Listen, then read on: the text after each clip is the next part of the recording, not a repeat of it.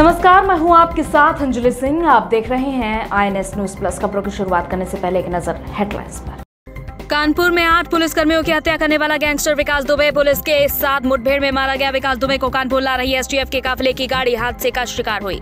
विकास दुबे के एनकाउंटर पर लगातार उठ रहे सवाल। सपा के मुखिया अखिलेश यादव ने कहा, कार नहीं पलटी, सरकार पलटने से बचाई गई।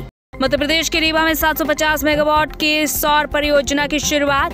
पीएम मोदी ने किया उद्घाटन। इस प्लांट को बताया जा रहा है एशिया का सबसे बड़ा पावर प्लांट। अपराधी विकास दुबे को उज्जैन से कानपुर लाया जा रहा था। कानपुर के नज़दीक पहुँचते ही विकास दुबे का एनकाउंटर कर दिया गया। लेकिन यहाँ पर सवाल ये खड़ा होता है कि आखिर मीडिया कर्मियों को दो किलोमीटर दूर ही रोक क्यों दिया जाता है? अचानक से आधे घंटे के अंदर गाड़ी पलटती है। विकास दुबे हथियार छीन कर भागने की कोशिश करता है। सवाल यहाँ पर यह भी खड़ा होता है कि विकास दुबे के सभी साथियों का एनकाउंटर ठीक उसी तरह से किया गया है, जिस तरह से एनकाउंटर विकास दुबे का किया गया है। ये पूरी रिपोर्ट देखें। कानपुर में आठ पुलिस कर्मियों की हत्या करने के बाद कई दिनों तक पुलिस को झगाने वाला गैंगस्टर विकास दुबे पुलिस के साथ मुठभेड़ में मारा गया है। बता दें कि विकास दुबे को कानपुर लारी एसटीएफ के काफिले की गाड़ी आज सुबह हादसे का शिकार हो गई थी। कानपुर के करीब ही ये हादसा हुआ था। पुलिस के अनुसार हादसे के बाद पुलिस की बंदूक छीन कर विकास भागने की कोशिश कर रहा था। इसी दौरान पुलिस ने कुख्यात अपराधी को मार गिराया। जानकारी के अनुसार विकास दुबे को लेकर रवाना हुई गाड़ियों में से आगे चलने वाली गाड़ी ने टक्कर मार दी। टक्कर लगने के बाद पीछे काफिले में चल रही अन्य गाड़ियों ने तेज़ी से ब्रेक लगाए और सभी गाड़ियाँ असंतुलित होने लगी। विकास दुबे दूसरे नंबर की गाड़ी में दो लोगों के साथ बीच की सीट पर बैठा हुआ था। गाड़ी के पलटने के साथ ही विकास ने भागने की कोशिश शुरू कर दी। उसने एक पुलिसकर्मी की पिस्तौल निकाली और वहाँ से भागने की कोशिश करने लगा। इसी दौरान पुलिस ने उसे मार गिराया। दुर्दांत अपराधी विकास दुबे आज एनकाउंटर में ढेर कर दिया गया। लेकिन विकास दुबे के एनकाउंटर के बाद से लगातार कई सवाल खड़े हो रहे हैं। ये पूरी रिपोर्ट देखें। मध्य प्रदेश के उज्जैन महाकाल मंदिर से पकड़ा गया दुर्दांत अपराधी विकास दुबे शुक्रवार को कानपुर में उत्तर प्रदेश एसटीएफ के साथ एनकाउंटर में मारा गया। इस एनकाउंटर को लेकर यूपी में सियासत गर्मा गई है। यूपी के पूर्व मुख्यमंत्री और समाजवादी पार्टी के मुखिया अखिलेश यादव ने सवाल उठाते हुए कहा कि दरअसल ये कार नहीं पलटी है, रास खुलने से सरकार पलटने से बचाई गई है। इस एनकाउंटर को लेकर कांग्रेस की नेता प्रियंका गांधी ने भी प्रतिक्रिया दी है। उन्होंने कहा कि अपराधी का अंत हो गया, अपराध और उसको संरक्षण देने वाले लोगों का क्या? उज्जैन से विकास दुबे की गिरफ्तारी के बाद से ही यूपी से लेकर मध्य प्रदेश तक सियासत जोरों पर थी और कांग्रेस लगातार बीजेपी पर निशाना साध रही थी।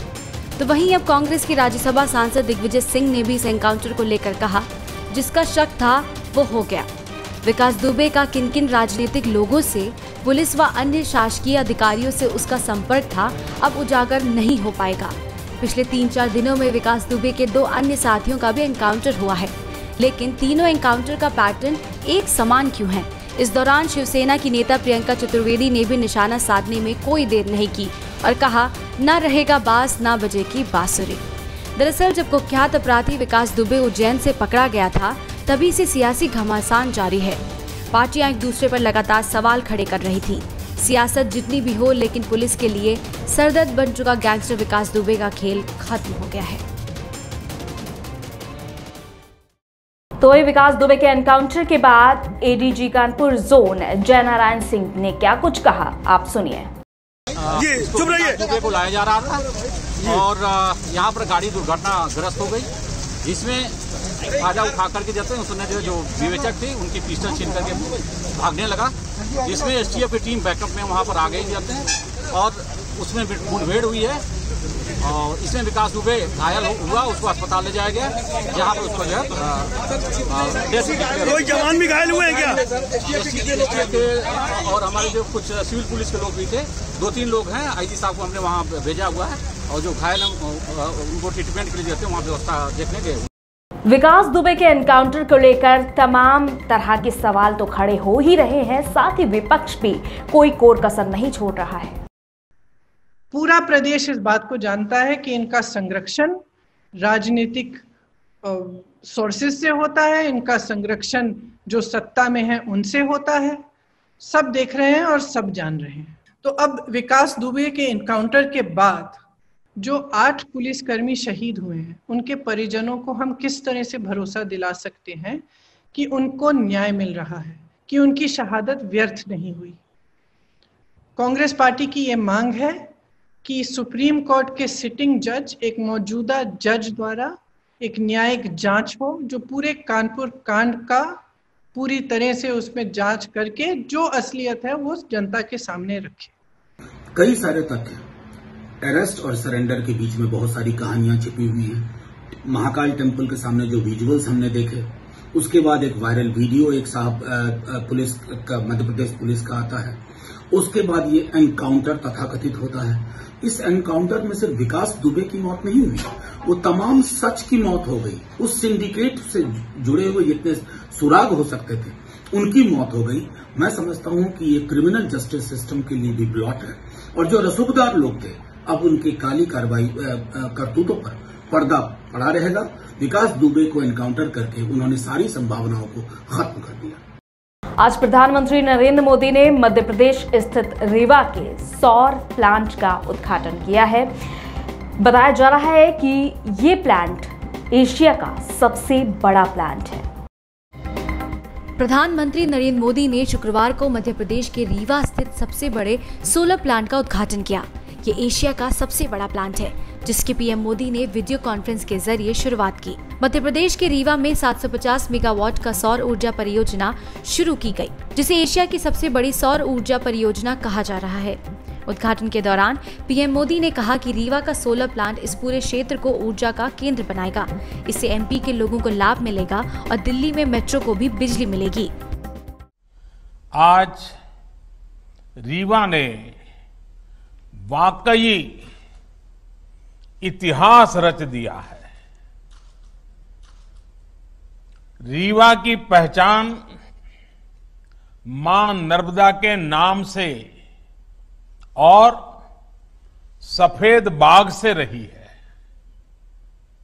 अब इसमें एशिया के सबसे बड़े सोलर पावर प्रोजेक्ट का नाम भी जुड़ गया। है संबोधन में पीएम मोदी बोले कि हमारी सरकार के वक्त में स्वच्छ भारत, एलपीजी देना, एलईडी देना और ऊर्जा समेत कई फैसले लिए गए, जिससे अर्थव्यवस्था और पर्यावरण सर्वोपरि है। साथ ही पीएम मोदी ने पिछले छह साल में सरकार के द्वारा किए गए कामों को भी गिनाया।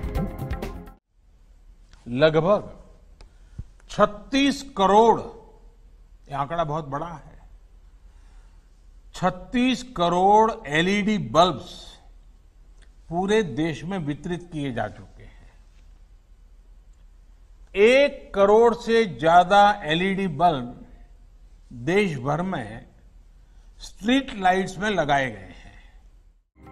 ये सौर परियोजना राज्य के बाहर एक संस्थागत ग्राहक को आपूर्ति करने वाली पहली अक्षय ऊर्जा परियोजना भी है। कोयला पावर प्लांट के मुकाबले इस परियोजना से सस्ती बिजली मिल रही है। यहाँ से दो रूपए सत्तानवे पैसे प्रति यूनिट बिजली बेची जा रही है। ये दिल्ली मेट्रो को अपनी कुल उत्पादन का 24 प्रतिशत बिजली देगा, जबकि शेष छिहत्तर प्रतिशत बिजली मध्य प्रदेश के राज्य बिजली वितरण कंपनियों को आपूर्ति की जाएगी। आईएनएस के साथ बातचीत के दौरान एजुकेशनिस्ट सोनम वांगचुक ने कहा है कि भारत के पास इस वक्त रोज़गार के अवसर पैदा करने की ये बहुत बड़ी अपॉर्चुनिटी है। इस दौरान जब सभी चाइनीज़ गुड्स का विरोध किया जा रहा है और उनको बैन किया जा रहा है। First of all, I find it ridiculous that we say we find employment in trading Chinese goods when a decade or two ago there were 10 times more employment making those things in India. Think of all the toys, the bicycles, the you know shoes and shirts that so many Indians were making. All their employment went to China, and we are not worried about that. We are worried about the few employment in, in trading somebody else's products. This is like a warped view of what has. I mean, we are like uh, suffering from amnesia if we think that we have always traded with Chinese goods and never made anything. So it's actually an attempt to bring back all the employment India always had of making things itself for itself and perhaps now we can do it for the world also because the world is asking India to please get your act together. We want to bring our factories into your country, but only if you are organized. So, this is an amazing opportunity not only to get back all the employment that India always had, but also the ones that China had gotten from around the world uh, by being a manufacturing hub. So the whole world is asking and expecting India to provide an alternative. So I really don't see much wisdom in this um, saying. Bengali superstar Prasenjit Chatterjee ने IANS के साथ खास बातचीत की। इस दौरान उन्होंने nepotism के बारे में भी खुलकर बातचीत की। Me as an actor me I think I had work with the maximum number of new girls I had work with maximum number of new directors till today it's not that and I always believe that new talents needs to come if you see my production which I had done if i had done five or ten films which i had produced you will see even television i'm talking about you will see maybe one of those films where Prosenjit is there. Otherwise it is mostly with all new faces. And now they are big stars now honestly speaking. I don't want to name them but people know. So that uh, i whenever i produce a film it is a very fresh director or it is a fresh cast uh, with fresh face uh, so I always believe that, and this is even that one thing which we need to also understand that why I am, I can do some other business, right? So if I have learned something from this industry, I need to give back something to the industry, and what else I can give apart from some new talents. इसी के साथ आई news plus की खास खबरों में फिलहाल इतना ही इजाजत दीजिए नमस्कार